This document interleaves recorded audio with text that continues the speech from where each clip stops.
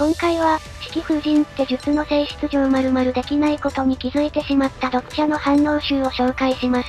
チャンネル登録と高評価よろしくお願いします。それでは本編どうぞ。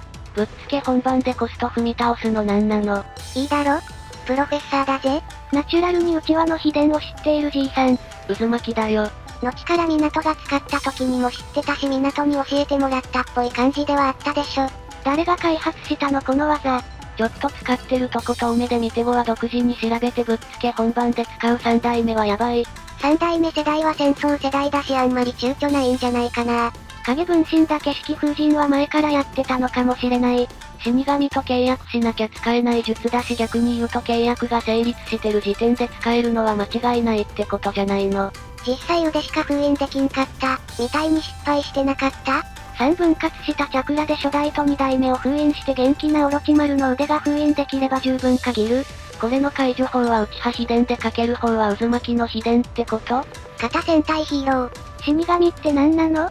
いきなりオカルト出さないでよ。時空間忍術の時点で気づけ。この死神もどこかで暮らしてるのかな江戸転生って何なの？いきなりオカルト出さないでよ。分割チャクラでも封印してくれるのは神さん的にはいいのか？封印解除に滑腹が必要だけどオロチマルは脱皮でしのぐのもひどくない？解除した時般若のお面が30個くらいあったけどつまり死神も30人いるってことだろうか。スレガとか指紋とかデイダラの究極芸術とかイザナギとか修行もクソもない必殺の術多いよね。指紋は8問を開く感覚がつかめたら7までの延長でできるんだろう。決まれば大筒付きでも持っていけるのかな死神さん。発動のコストが術者の命で術者がコスト払って死ぬまでは封印料無制限とかなんじゃない？なんか通信料無制限、みたいだな。港がやってたのはこんな感じだったかの？できたのこれは歴代最強ほかげ。読んだ範囲がこの死神？は何者なのかのこれはまだいいとするよ江戸転生の江戸川との口寄せ契約を強制的に行うのは何なんだよ。影分身でも封印 OK はちょっとガバ契約すぎない？寿命保縮むとか。こんなに強い3代目と2代目を同時に追い詰めた金閣部隊はどんだけ強いんだよ。何のためにこんな術作ったんだ。本体と影分身で同時にやったからセーフということなんじゃないかなと思って読み返したら影分身だけ先にほかげ封印して消えてるわオロチマルの魂掴んだの分身消えた後だわ。むしろ港こそどうやって完成だ、したんだよ。邪神様って何なの？いきなりオカルト出さないでよ。死神に自分と相手の命を食わせる最後の切り札的な道連れ封印技なのに影分身で代用できちゃうガバガバさに笑う。邪神教って何なの？いきなりカルト出さないでよ。後にオロチマルも解除コストの滑腹自殺を自分の体入れ替えスキルで踏み倒すからお互い様である。指定じゃのー。魂封印後もなんか少し動けるっぽいよね。なぜか見ただけで習得したとかいう根も葉もない設定になってる技。オロチマルがホカゲたちを復活させて腕も戻ったのってなんでだっけ？腕封印されてる人が解除できるの？お面かぶって滑腹自殺の時は印とか結んでなかったと思うから魂変換は忍術というより儀式的な何かなんじゃないかな。死神のゲロで腕が戻ってから一緒に戻ってきて浮かんでる魂相手に絶を生贄に江戸天のはず。スレガの解除方法が封印されてるお面をかぶって死神を召喚して切腹することだから普通は切腹したら当然死ぬんだけどオロチマルは切腹したボディを使い捨ててサスケの監視用に仕込まれてた白絶に乗り移ることでコスト踏み倒した。死神のお面かぶって滑腹自殺することで死神の胃袋からかつて封印された魂を呼び戻すだけだから別に腕とかなくても問題はない。死神召喚はお面かぶるだけでいい。なぜか見ただけで習得したとかいう根も葉もない設定になってる技そもそも見てるかどうか怪しいもんな見てるのは作中でも描写されてるだろちゃんと読んでくれ。ごめん。4代目から式風神の説明受けてるってわかる描写があるのにね。腹切りすれば後で回復しても OK な死神さんは優しい。回復したわけじゃない切腹したオロチマルボディはちゃんと死んだ。でも死神の腹の中にいたの3代目と4代目が封印したやつしかいなかったから誰も使ってないんだな式風神。白絶が倫理を気にしなくていいコストな上に柱間細胞としても有用なの便利すぎる。でもあれ元人間じゃないっけ式風神博士たちの解説ありがたい。三代目とオロチマルは指定揃ってズルしてくるから。どの道元の人間に戻れねえんだ見つけ次第コストにするぞ。今は人間じゃないってことね。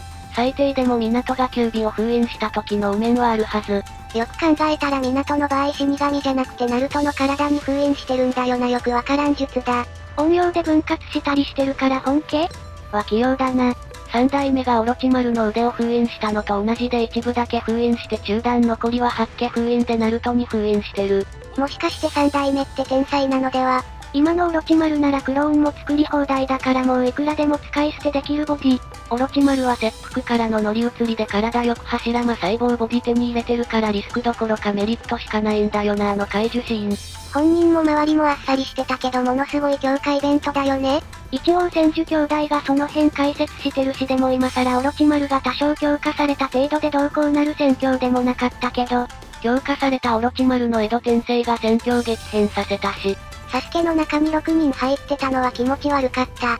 江戸天とオロチマルボディの素材にちょうどサスケくんに白絶6体が、1体はオロチマル4体は歴代ほかげであと1体はどうしたんだっけ ?15 が食べた？食べた。